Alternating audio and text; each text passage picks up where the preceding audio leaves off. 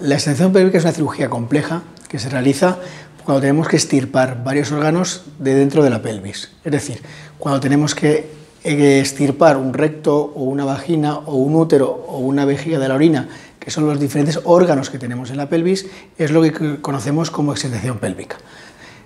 Hay diferentes tipos de extensiones pélvicas en función si quitamos más o menos órganos, desde la total, que vaciamos todos los órganos que se encuentran dentro de la pelvis, hasta parciales, anteriores o posteriores, en función de qué órganos quitemos.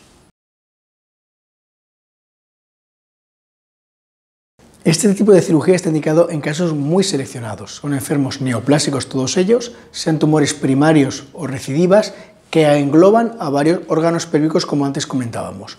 No es para patología benigna, simplemente es para patología maligna, en la cual es necesario para curar el tumor quitar varios de esos órganos pélvicos que antes comentábamos.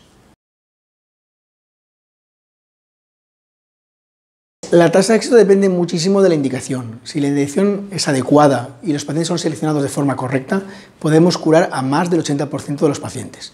La única pega que esta tiene en cirugía es la alta tasa de complicaciones que puede tener en el posoperatorio.